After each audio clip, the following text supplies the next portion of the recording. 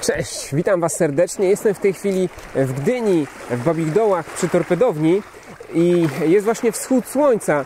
Nie liczyłem, że słońce wyjdzie ponad chmury, bo zapowiadało się, że po prostu ono się przeniesie ponad chmury i zniknie totalnie, ale oto mam niespodziankę i po prostu gdzieś tam jakiś przesmyk się pokazał i to słońce się e, przebiło przez te chmury i mamy fantastyczny kontrast kolorystyczny, niebieskie e, niebo, e, morze oczywiście i ten ciepły kolor wlewający się właśnie gdzieś tam w okolicach Helu.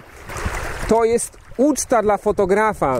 Tutaj naprawdę są wspaniałe widoki i musisz tutaj być we wrześniu, ponieważ we wrześniu będzie plener fotograficzny i będziemy właśnie fotografować takie oto wspaniałe e, widoki, takie wspaniałe e, pejzaże. Tak więc rezerwuj czas i widzimy się niebawem. A ja wracam do fotografowania, bo naprawdę jest co tutaj fotografować.